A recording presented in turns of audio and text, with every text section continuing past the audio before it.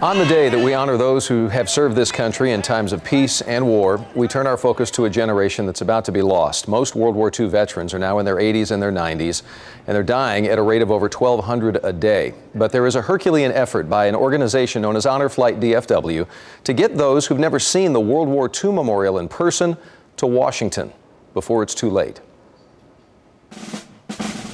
I think that day is uh, important. I've never seen so many thank you. Appreciate it. At 90, retired Lieutenant Colonel Kenneth Brower's hands aren't nearly as steady as they once were when he was a young airman. The eyes today, not nearly as sharp, but I can tell you firsthand, his memory of World War II is crystal clear. As Kenneth tells me, it was the 8th of July, 1944, a month after the D-Day invasion. Then First Lieutenant Brower was flying with his crew in their B-26 bomber over France. At 2.50 in the morning, between Abbeville and Amiens. The enemy found them. We had, uh, I'd say, 100 holes in the airplane. The Marauder was crippled, but the news was worse for at least one of the crew. The one that really got hurt was our engineer. He got a piece of black went up through him, clear out. He died, in other words. Seconds later came the command from the captain.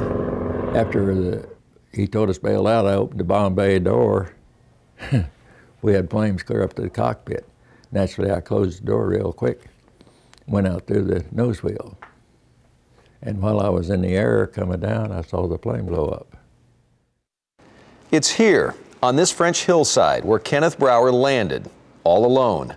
And down the street, in this farmhouse, is where a French family hid Brower until France was liberated nearly two months later. Fast forward 66 years, the retired lieutenant colonel who lives in Fort Worth still treasures the Purple Hearts he earned and the Air Force Commendation Medal he received, but admits that before his time is up, he would like to see the World War II Memorial in Washington, D.C. Excited to see it? Tell me about your emotions. Here we are, four sure, days away from looking going. forward to it. Been looking forward for two years. two years because that's how long the waiting list is for Honor Flight DFW a nonprofit dedicated to taking aging veterans to Washington, D.C., all expenses paid, to see the World War II memorial for their first and likely last time. Fortunately for Kenneth, his health outlasted the wait. So, how many guys have you been able to catch up with this morning? Oh, about six, seven to new. Kenneth Brower and 40 other North Texas WW2 vets are about to leave on a 48-hour odyssey to Washington, D.C. that will bring many of those brave men to tears. I was able to travel with Honor Flight to document their journey, and I hope you join me for what's going to be inspirational and an emotional tribute, to say the least. That's tonight on CBS 11 News at 10 o'clock. And we've talked about it over mm -hmm. the mm-hmm. recent weeks since I did this trip a couple of weeks ago.